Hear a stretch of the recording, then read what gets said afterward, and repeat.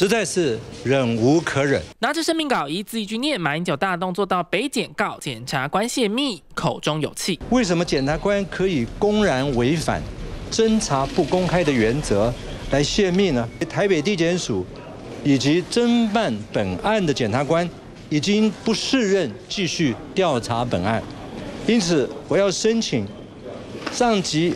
法院移转管辖。马英九上个月底到北检应讯超过十四小时。马英九认为办案细节只有自己跟检察官知道，怎么会有媒体知情？怒告北检泄密。北检一再泄露不实而且扭曲的侦查细节，对比北检的检察官起诉我的泄密案，振振有词，我觉得实在是很可笑。马英九先生。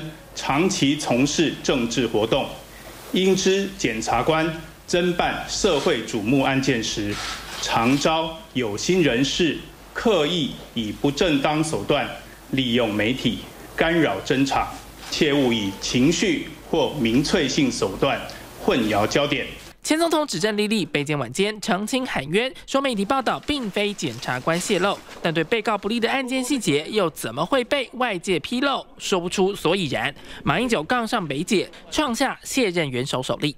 记者综报道。